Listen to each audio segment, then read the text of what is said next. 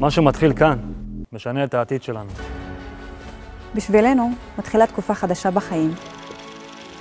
תקופה בה נוביל אחרינו פקודים בדרך משותפת. דרך בה ניצבת המשטרה מקום המדינה לצד החברה הישראלית.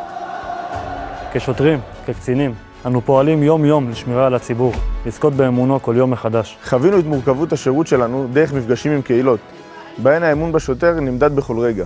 הוכחנו שאפשר לחבר את החלקים. אנו ניצבים בדמות החוק. החיים מזמנים לנו אתגרים עם משמעויות. אירועים עוצמתיים שמשאירים לנו חותם בלב ובנפש. אירועים שמלווים אותנו במחשבות, מעצבים אותנו והופכים אותנו למי שאנחנו. כשעוצרים לרגע וחושבים על שבעת החודשים שחלפו, מבינים.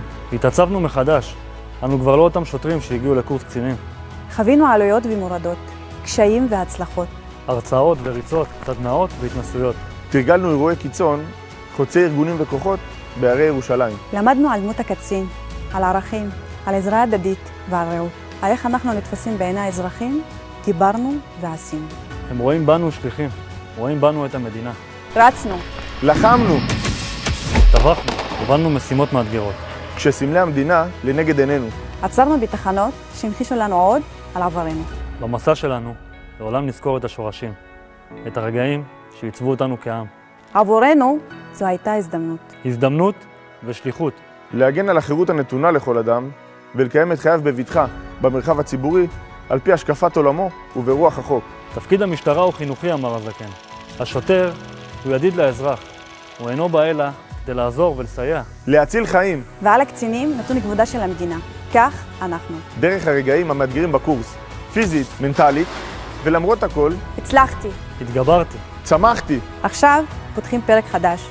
לוקחים את המושכות לידיים. יוצרים בעצמנו, עבורנו ועבור אחרים, אירועים משמעותיים. המשטרה היא לא רק משרתה של הציבור, היא הציבור. אנחנו החברה הישראלית, אנחנו ישראל היפה. כי לא משנים המדים, לא משנה הדת, הגזע, המין. הנטייה המינית או המעמד החברתי. האתגרים שלנו זהים, אנחנו שונים, אך מאוחדים. עוד רבה וקשה, הדרך אשר לפנינו, ועוד זמן רב יידרשו מאיתנו גם תבונה ואומץ לב למערכה, וגם מאמצי חומר ורוח לבניין וליצירה.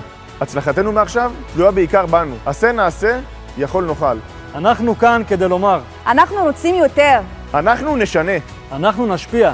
אנחנו נראה שאפשר אחרת, אפשר טוב יותר. דור העתיד כבר כאן.